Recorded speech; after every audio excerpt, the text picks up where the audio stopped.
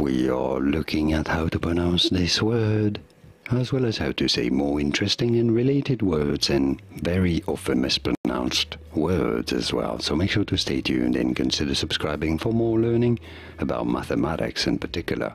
Now, this is the plural of the word abacus. How do you pronounce it? Well, there are two different ways of pronouncing it.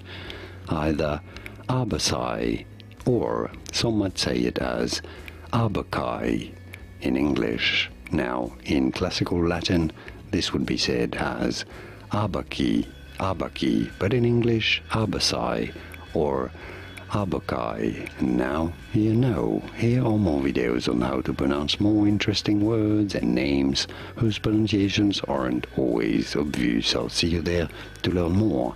Thanks for watching.